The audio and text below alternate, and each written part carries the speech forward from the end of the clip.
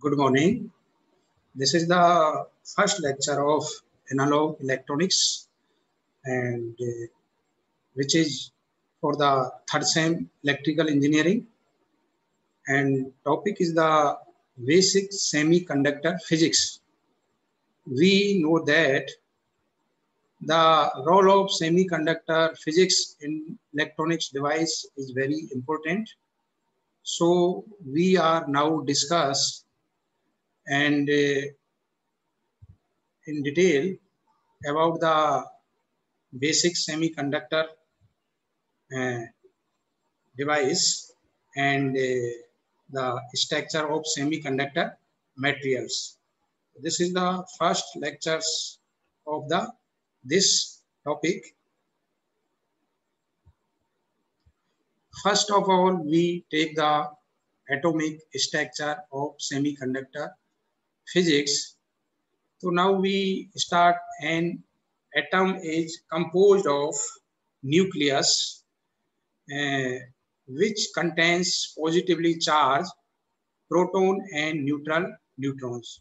We already know about the nucleus structure in which positive charge protons and negative charge like neutrons are present there. And next one is the electron. Electron is the which are negatively charged and that orbit the nucleus. So this is the structure of atomic in which nucleus and electronics and the protons and neutrons, the role of these different uh, electrons and nucleus in which protons and neutrons. Valence electrons. So what is the valence electrons? What is the role of electrons in semiconductor physics? Electrons are distributed in various cells at different distance from nucleus. Electrons energy increase as cell radius increase because the energy of electrons depend on the radius of the cell.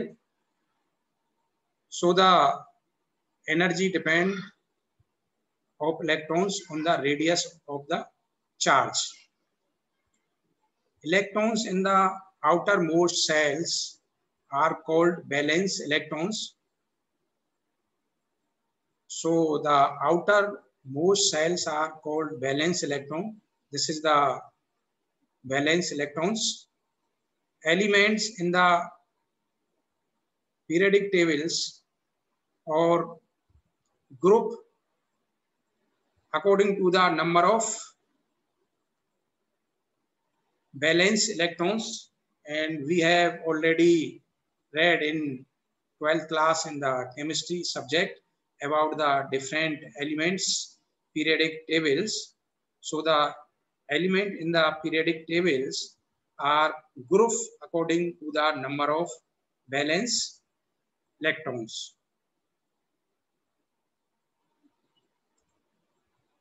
here we see the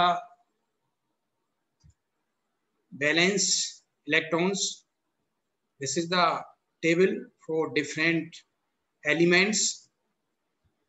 That is the portion of the periodic tables. Here is the group third and group fourth and group fifth. In group third, uh, some elements are there.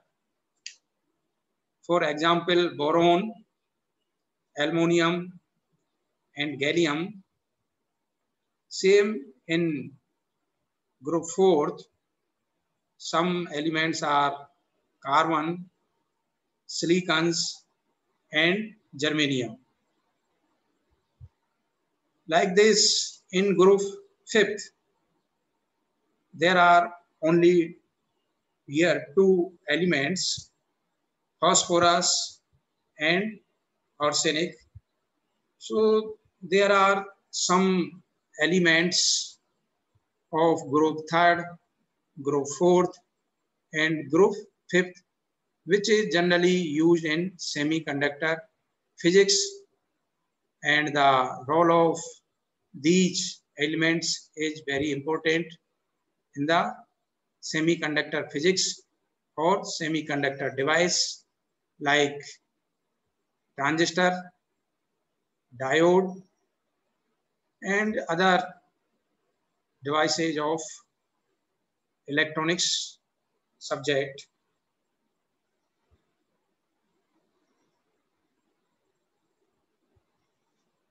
Here are some elemental compound semiconductors. We take some examples that are very important for the semiconductor devices purpose.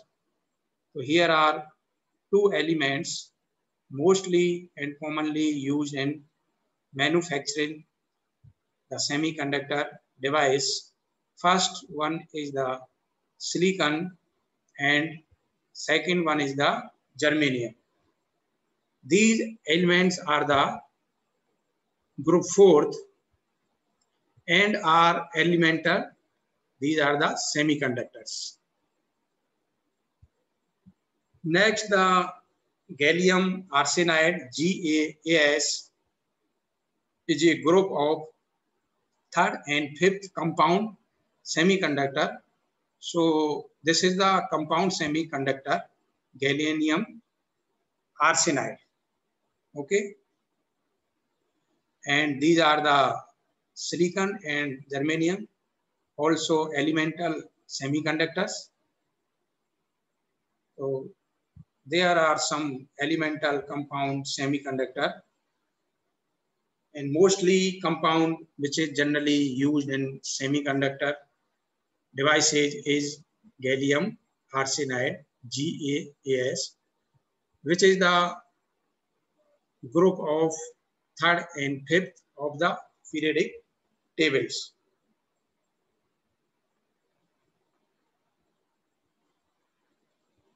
Next, we discuss about the silicon crystals. That is the element of semiconductor elements. So some property of this silicon crystal, which is mostly used in manufacture the semiconductor device like diode, transistor, FET, BJT, etc. The first property we see here that at zero degree Kelvin, each electrons is in its lowest possible energy state and each covalent bonding position is filled. This is the first property of silicon crystal. And second is the, if a, a small electric field is applied, the electrons will not move. Silicon is an insulator. Or we can say that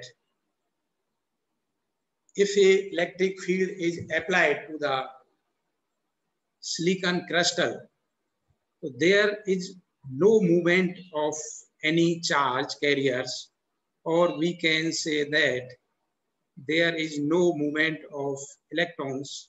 It means silicon we have as a insulator. Or we can say that the silicon 8, 0 degree Kelvin, we have as a insulator. But we know that also if we increase the temperature, the conductivity of silicon or germanium increase with the temperature. So the conductivity of silicon crystal depend on the temperature. Okay, if we increase the temperature, in proportional, the conductivity also increase of the silicon crystal.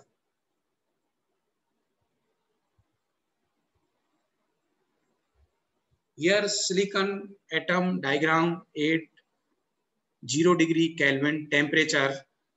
You see in this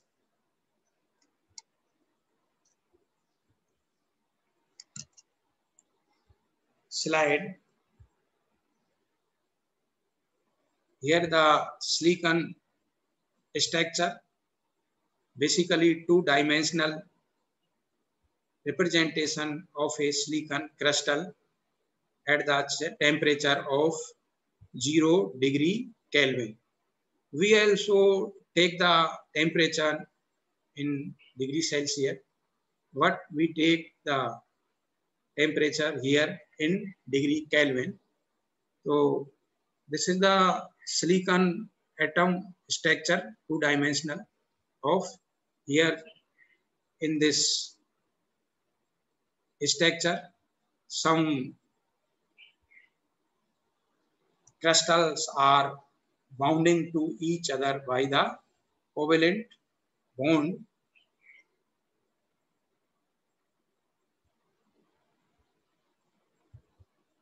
Next one is the intrinsic silicon. Here we now classified the silicon in two manners. First one is intrinsic silicon and second one is the extrinsic silicon. Intrinsic silicon means pure silicon crystal or in extrinsic means impure silicon crystal. So here pure silicon means the number of electrons is equal the number of holes in silicon crystal. This is the property of intrinsic or pure silicon crystal. We know that the electrons are negative charge carriers and holes are positive charge carriers. It means here the number of electrons is equal to number of holes. For example, suppose 1000 electrons here, it means 1000 also holes present here. It means positive charge carriers equal to negative charge carriers.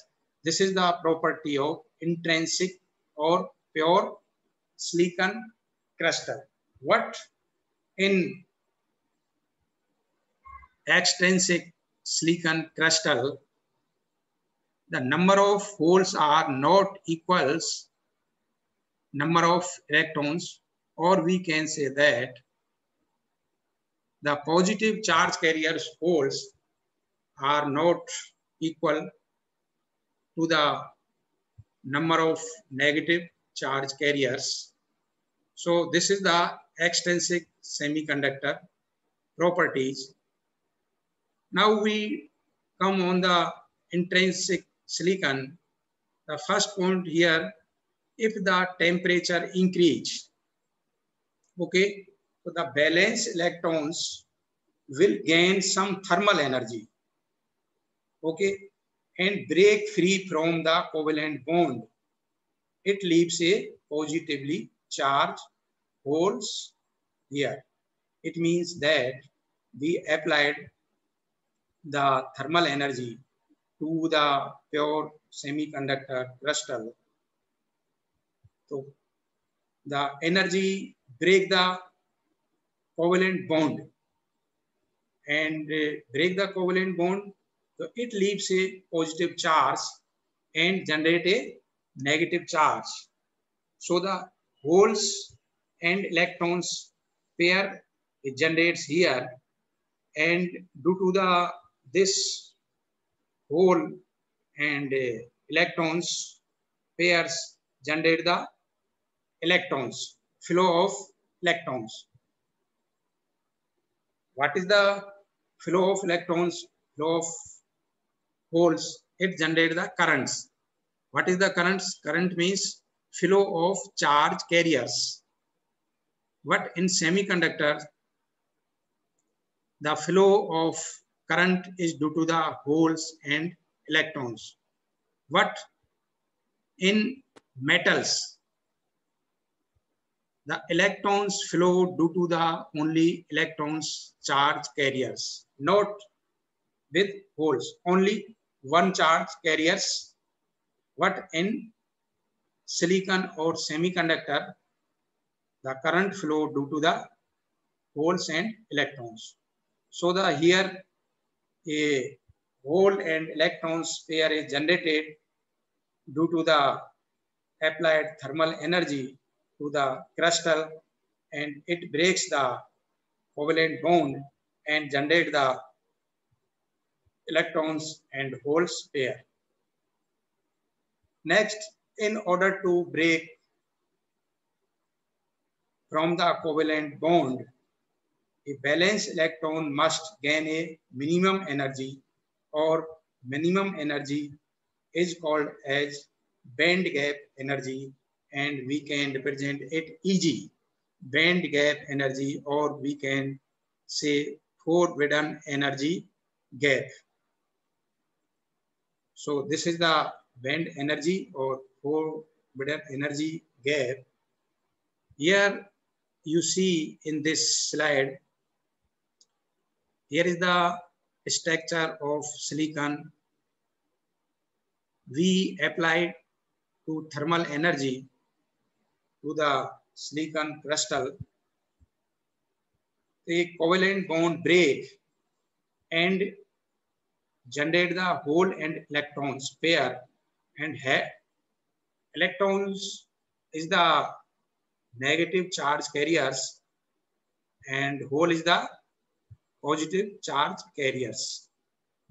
So here a positive charge carriers generate here and generate the positive charge or a holds a negative charge as a electrons.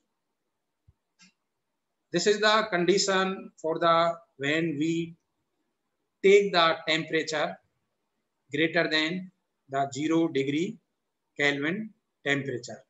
This is the condition for breaking the covalent bond in silicon crystal structure.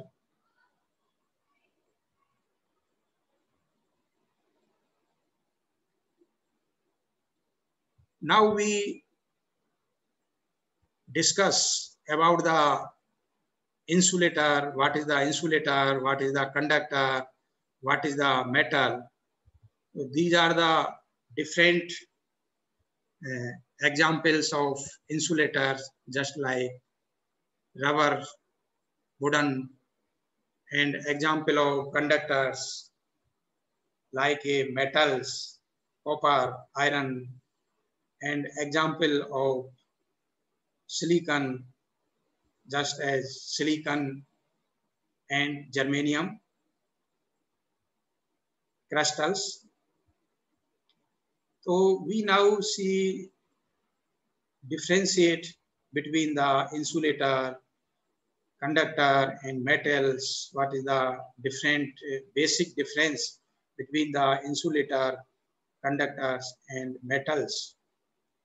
So now here materials that have large band gap energy in the range of 3 to 6 electrons volt are insulator because at room temperature, essentially no free electron exists in the material. This is the property of the insulator. We know that in a any structure, structure may be insulator, maybe conductor, maybe semiconductor, have the two bands, valence band and conductance band. Two bands, valence band and conductance bands. To the forbidden energy gap, or we can say that the distance between the valence band and conduction band is called the forbidden energy gap or band gap energy. So in insulator, the forbidden energy gap between the conduction band and valence band is large or 3 to 6 electron volt. So this forbidden energy gap is large as compared to forbidden energy gap of insulator and conductors and metals. So the forbidden energy gap is large in insulator or approximate 6 to 3 to 6 electron volt. So the jumping of electrons from one energy level to another energy level or higher energy level to low energy level is not possible in insulator. So there is no flow of charge carriers between the conduction band and valence band. So there is no current flow here. So the this structure we have as a insulator or the example of insulator is wooden or rubber etc in next material that contains very large number of free electrons at room temperature are conductors or we can say that in conductors the forbidden energy gap is low as compared to insulator or approximate we can say that very low 0.1 or 0 electron volt. So the in conductor, the valence band and conduction band, these two bands are overlapping to each other because there is no forbidden energy gap or we can say the distance between the conduction band to valence band is zero. So this is the property of conductors. Conductors means metals like copper, silver, iron, gold, etc. Next, we come on, we take the semiconductors. The example of semiconductor is mostly, we have already discussed silicon and germanium the forbidden energy gap in semiconductor is greater than the metal. What? Less than the insulator. It means that the forbidden energy gap in semiconductor approximate one electron volt or 1.21, 1.11 depend on the different elements is electron volt approximately. So the this energy gap is very small between the conduction band and uh, valence band. So there are free electrons easy move from conduction band to valence band and easily movement of charge carriers, holes or electrons. It means here, the current flow easily due to the holes and electrons in semiconductors. So the in semiconductor, the band gap energy is in order of one electron volt.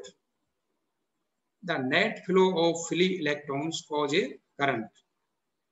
And we know that the current flow in semiconductors is due to the holes and electrons, both charge carriers. Both charge carriers, hole and electrons. In a semiconductor, two types of charge particles contribution to the current, the negative charge is called leptons and positive charge are holes. So the current flow in semiconductor materials due to the holes and electrons. This is the property of semiconductor. So we can differentiate between three uh, structure of different insulator, semiconductor, metals. The current flow in insulator is no current flow because there is forbidden energy gap is very large, 3 to 6 electron volt. And in metal, the current flow due to the only one charge carriers, electrons, negative charge carriers, electrons. And in semiconductor, the current flow due to the holes and electrons. This is the basic difference between the insulator, semiconductors, and metals. This is the basic difference. Now, we see here in this slide the structure of two-dimensional representation of silicon crystal showing the movement of positive charge holes. Here, the movement of charge holes is so in this slide. When one charge carriers leave the own position, that create the positives and that charge accept by any atoms that will be negative charge carriers. So here is the concept of holes and electrons. Holes means positive charge carriers and electrons means negative charge carriers. These are the generated by the breaking the covalent bond in semiconductor crystal structure.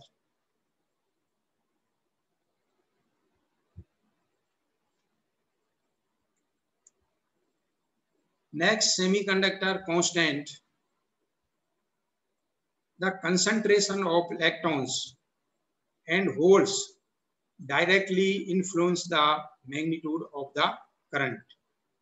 We know that the current concentration is the proportional to the electrons and holes. The concentration means number of holes or number of electrons charge carriers in a unit area.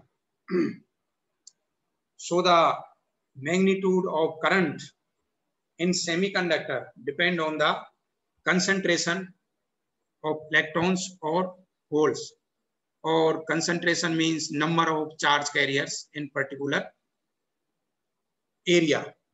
So the current depend on the concentration or number of electrons and holes of the semiconductor crystal. In intrinsic semiconductor, intrinsic semiconductor means pure semiconductor or pure semiconductor means there is number of holes equal to number of electrons or we can say that the concentration of holes equal to the concentration of electrons. So in intrinsic semiconductor, a single crystal semiconductor the density of holes and electrons are equals.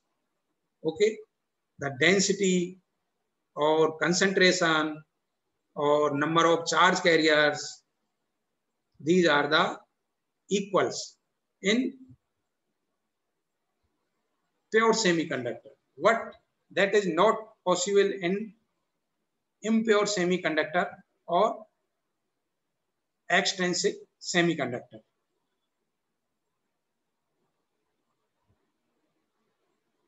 In extrinsic semiconductor or impure semiconductor, the concentration of holes and the concentration of electron is not equal. This is the property for the extrinsic or impure semiconductor. It means there is number of holes, positive charge carriers is not equal to number of negative charge carriers, electrons. So this is the property of extrinsic semiconductor.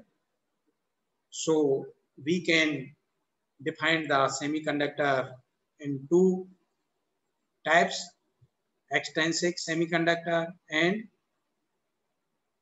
intrinsic semiconductor or pure semiconductor or impure semiconductor.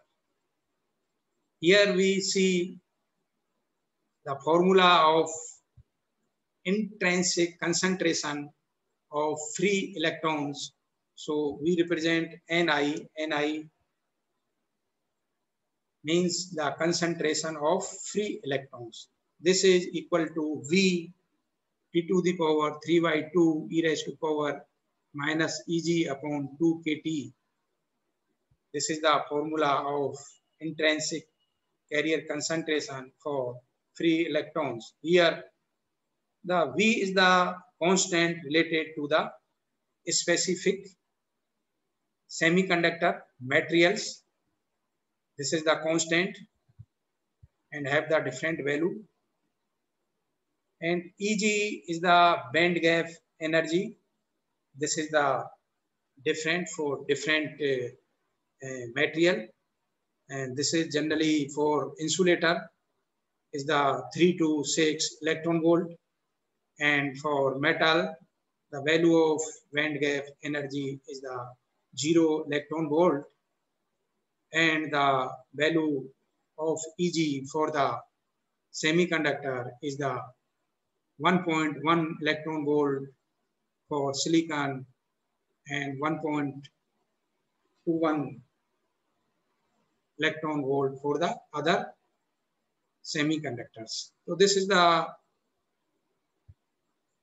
have the different value for different materials. Here T is the temperature, room temperature, which is generally we take the in degree Kelvin. We also take the temperature in degree Celsius and we take the temperature in uh, degree Celsius, we can convert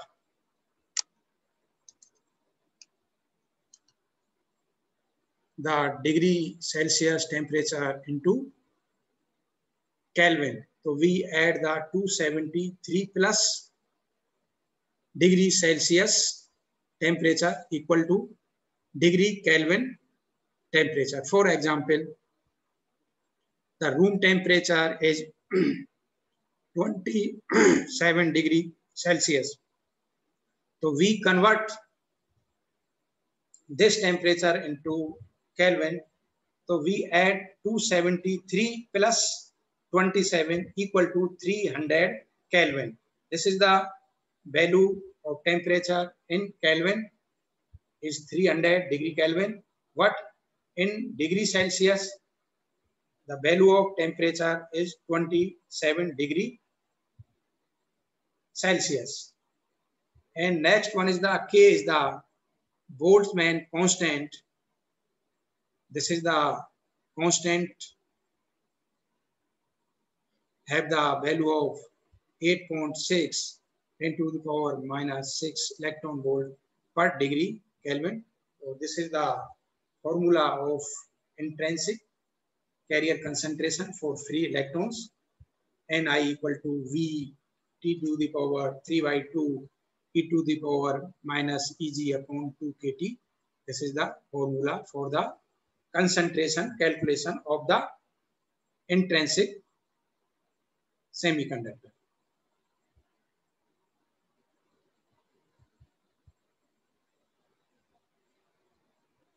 Next one is the semiconductor constant. So semiconductor constant, we take the generally semiconductor materials. For example, silicon, germanium, and uh, gallium arsenide. And these materials have the different value of forbidden energy gap or energy gap Eg in electron volt and different Boltzmann constant for different material. So there is some values of Eg and V for different materials. For silicon, the value of Eg is 1.1 electron volt and the value of V is 5.23 10 to the power 15. This is the values of Eg and V for the silicon. Next one is the germanium. So the value for germanium Eg is 0.66 electron volt and the value of V constant is 1.66 10 to the power 15. This is the value for germanium semiconductor. And next one is the compound semiconductor gallium arsenide GaAs, which have the value of Eg is 1.4 electron volt. And the value of V constant is the 2.1 into 10 to the power 14. So these are the some constant value of different semiconductor constants.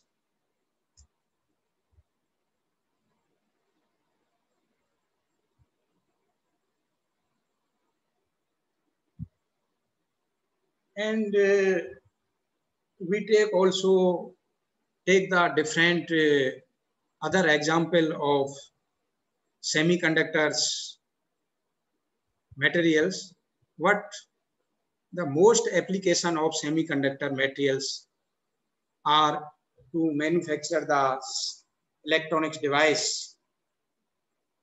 The role of electronic device today in different field is most commonly used. For example, is medical field and uh, in military and also in communication and uh, in manufacturing the semiconductor device, just integrated circuit, which is generally used in computer, mobiles, transmitters, receivers, and different application, which is are mostly used in different field. So this is the basic uh, introduction in lecture one of semiconductor physics. And uh, we have discussed about different materials and different structure of materials and different conditions and different uh, types of materials and properties of materials and characteristics of different materials. So these are the first lectures of semiconductors, physics, introduction, and uh, the role of two materials of semiconductors, for example, silicon and germanium is very important to manufacture the IC integrated circuit and uh, the different version of IC very large scale integration large scale integration, medium scale integration.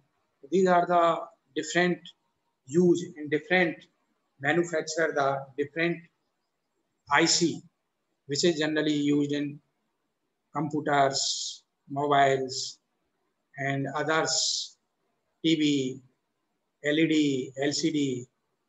These are the applications of semiconductor materials. And this is the very cheapest material. Semiconductor is the very cheapest material. The cost of semiconductor materials is very low as compared to metals. Because in metals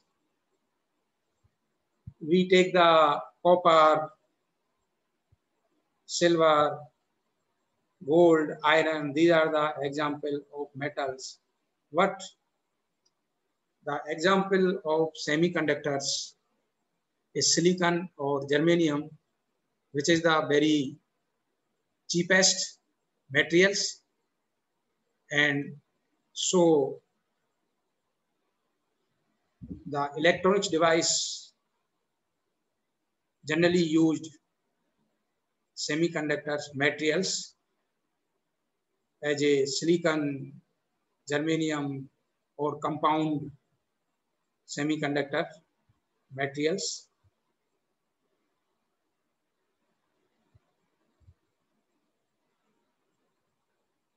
These are the some reference books for this subject or this topic. First book is the Electronics Device and Circuit, which is authored by Millman and Halkias. And second, which is the Second books is the basic electronics authored G.K. Mithal. So this is, there are two books very important which cover the this first lectures of semiconductor physics. So we can refer these books and uh, next we have some multi-choice objective type questions. So, dear student, you attempt and try to solve these questions. This is the cover basic concept of semiconductor physics and very interesting question to helping you to understand the this topic. So we are ending of this lectures. Thank you. Thank you very much